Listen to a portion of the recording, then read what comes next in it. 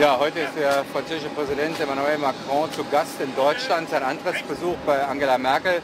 Ich habe ihn gerade hier empfangen am Flughafen und äh, ist nicht nur ein alter Freund, er ist vor jemand, der genau weiß, was er will. Und ich glaube, dass es gut ist, wenn wir jetzt äh, Deutschland und Frankreich wieder zusammenführen. In den letzten Jahren war zu viel Differenz zwischen uns. Und ich glaube, wir haben eine große Chance, was für Europa zu tun. Der neue französische Präsident Emmanuel Macron ist zu seinem ersten Besuch von Bundeskanzlerin Angela Merkel in übernommen. Seine erste Auslandsreise führte ihn dann gleich nach Berlin. Angela Merkel bei der gemeinsamen Pressekonferenz, dass man in Zukunft eng zusammenarbeiten wolle. Interessen Deutschlands sind aufs engste verbunden mit den Interessen Frankreichs. Macron sagte, die Franzosen hätten ihn und sein europafreundliches Programm gewählt. Er habe das europäische Projekt und auch die deutsch-französischen Beziehungen verteidigt. Aber ich habe auch nicht die Botschaft der Wut und der Unzufriedenheit des französischen Volkes vergessen, die ausgedrückt worden ist am 7. Mai. Das hat uns allen ins Gedächtnis gerufen, dass es Reformen zu leisten gilt. Mehr Effizienz brauchen wir und auch Schutz gegenüber verschiedenen Entwicklungen der Welt, die unsere Bevölkerung braucht. Ich stehe also heute hier vor Ihnen und bin sehr froh und glücklich, Frankreich vertreten zu dürfen. Aber ich habe noch eine schwere Aufgabe vor mir. Je suis aujourd'hui devant vous, heureux de pouvoir représenter la France, mais avec une lourde tâche à accomplir. Macron und Merkel sagten, man wolle bei dem gemeinsamen Abendessen weitere europapolitische Themenfelder vertiefen. Position, nachdem die Türkei nun wieder einigen Bundestagsabgeordneten nicht erlaubt, die Soldaten in Incirlik zu besuchen. Müssen wir unsere Truppen jetzt abziehen? Wie lange sollten wir für den zukünftigen Bundeskanzler Schulz diese Sache noch weiter passiv verfolgen? Sie wissen ja, dass ich in dieser Frage eine ziemlich klare Position habe. Was mich am meisten schockiert hat, ist der Grund, die Begründung, warum unsere Abgeordneten, die Bundeswehr, seine Parlamentsarmee nicht zu den Soldaten kommt.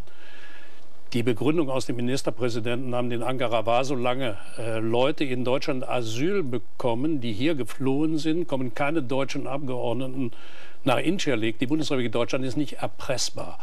Und deshalb mit einem Bundeskanzler Martin Schulz gäbe es schon das, was Verteidigungsminister Frau von der Leyen schon längst hätte tun müssen, einen alternativen Standort suchen müssen. Herr Schulz. Danke für das Gespräch. Der Marathonlauf zur Bundestagswahl, wie Sie das nennen, wird jetzt wohl richtig hart. Das der französische Präsident einen Antrittsbesuch äh, im Kanzleramt bei der Bundeskanzlerin. Sie haben ihr unterstellt, ähm, sie würde jetzt mit einem Schild Nein, Nein, Nein dem neuen französischen Präsidenten begegnen sagen. Denn sie sagt, die SPD Ja, Ja, Ja zu allem, was er sich vorstellt. Tut mir leid, Frau Schoss, ich habe nicht der Kanzlerin unterstellt, der Frau Merkel, sie würde mit einem Schild Nein, Nein, Nein. Ich hatte gesagt, schalt ihm aus Berlin dreimal Nein entgegen. Das war meist angesiedelt Wen meinten Sie im damit? Finanzministerium. Ah, ja. Gut. Insofern äh, wegen der Also, Präzision. ja. Dass Herr Macron heute die Bundesrepublik Deutschland äh, besucht und äh, die Bundeskanzlerin ist, glaube ich, eine ganz normale erste Amtshandlung eines französischen Staatspräsidenten. Ja, ich unterstütze Emmanuel Macron bei dem Bemühen, die Europäische Union zu reformieren. Ich glaube, dass wir den europäischen Stabilitätsmechanismus weiterentwickeln sollten zu einem europäischen Währungsfonds. Das sieht zwischenzeitlich übrigens sogar der Finanzminister so. Ich glaube, dass wir ihm in der Frage, sollen wir ein Eurozonenbudget entgegenkommen sollen, äh, brauchen wir das. In der Frage, was soll in dieser Eurozone konkret gemacht werden. Und ich würde mir ganz stark wünschen, dass die Bundesregierung eine von mir geführte würde das in jedem Fall tun, mit Macron gemeinsam gegen die Steuerflucht und die Steuerhinterziehung vorgeht. In Nordrhein-Westfalen gab es ja den Finanzminister Norbert Walter Borjans, der die Steuer-CDs in der Schweiz äh, gekauft hat, um Milliarden wieder zurückzuholen in die Haushalte der Bundesländer und des Bundes. Der ist dafür übrigens vom Bundesfinanzminister kritisiert worden. Er wird am Rande der Legalität arbeiten. Ich glaube, dass wir mit Macron gegen die Steuerflucht gemeinsam vorgehen können. Das sind so die Themen, wo ich ihn sicher unterstützen würde. Zu der Einschätzung, ich zitiere mal einen Satz. Einige der Beiträge, die wir in den letzten Wochen gehört haben, haben nicht zu mehr Kohärenz beigetragen. Das sagt der Kommissionspräsident über den Rat, den Sie uns darstellen als alles in Eintracht. Nee, die Realität in Europa ist anders. Die Realität in Europa sieht so aus, dass die EU in drei Teile zerfällt. In das deutsch-französische Direktorium, den Rest der Eurozone und den Rest, der nicht zur Eurozone gehört, mit einer Sonderstellung für das Vereinigte Königreich. Das ist die Realität in Europa. Und die Sonderstellung des Vereinigten Königreiches, die muss man sich besonders anschauen. Das deutsch-französische Direktorium Merkel-Sarkozy hat einen Deal mit Herrn Cameron gemacht. Das weiß jeder. Das muss auch ausgesprochen werden. Der Deal lautet, ich brauche eine Vertragsrevision für den Stabilitätspakt. Okay, sagt Herr Cameron, das ist für mich nicht einfach, weil ich habe da die Backbencher im Unterhaus sitzen, die wollen das nicht. Dann kriege ich einen anderen Haushalt. Dann sagen Herr Merkel, äh, äh Frau Merkel und Herr Sarkozy, ja gut, machen wir so. Das ist die Realität in Europa.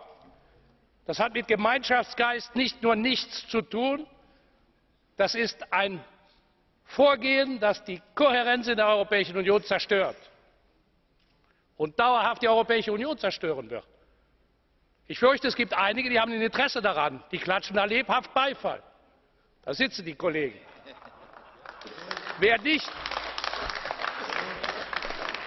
wer nicht will, dass diese Leute zukünftig in diesem Kontinent das Sagen haben, der muss Europa in eine andere Richtung bringen. Ja, mit den vier Leuten können wir leben. Ich versuche mal weiterzumachen. Herr Kollege Langen ist immer so leicht, der ist immer leicht erregbar. Die Reform des Stabilitätspakts in der EU wird abhängig gemacht von der Zustimmung eines Landes, das dem Euro überhaupt nicht angehört. Frau Merkel geht auf eine Revision des Vertrages in einer Situation, wo in diesem Hause niemand voraussehen kann, was in Irland läuft. Und ich weiß nicht, ob die Revision des EU-Vertrages in Irland so smoothly durchgeht, wie sich Ihr Bericht über den Europäischen Rat anhört. Frau Merkel sagt, der private Sektor muss einbezogen werden.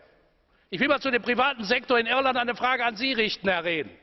Wie konnten eigentlich die irischen Banken die Stresstests bestehen? Können Sie uns das mal sagen?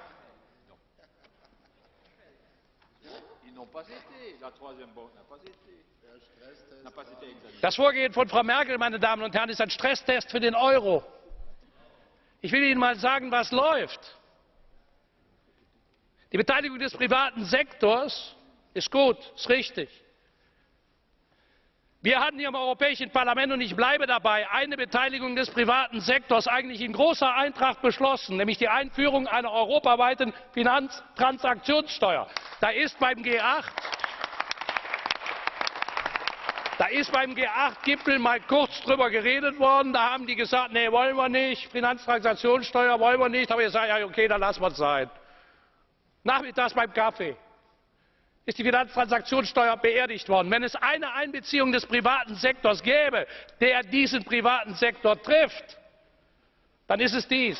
Jetzt sagt man ja, das Vereinigte Königreich will das nicht. Ja, bestimmt eigentlich das Vereinigte Königreich in Europa alles. Wie wäre es denn, wenn man mit der Finanztransaktionssteuer zum Beispiel schon einmal in der Eurozone beginnt und sagt, innerhalb der Eurozone ziehen wir darüber den privaten Finanzsektor heran? Ich habe nicht so viel Redezeit. Mr. President, time. Ich bin sofort fertig, Herr Präsident. Ja, beruhigen Sie sich, ich bin sofort fertig. Ich habe ja nicht so viel Redezeit. Ich will Ihnen nur eines sagen zum Abschluss. Ja. Ja wiederhole das mal, was er gesagt hat, damit die Übersetzer das sagen können. Ein Volk, ein Reich, ein Führer. Das war der, die Bemerkung dieses Mannes.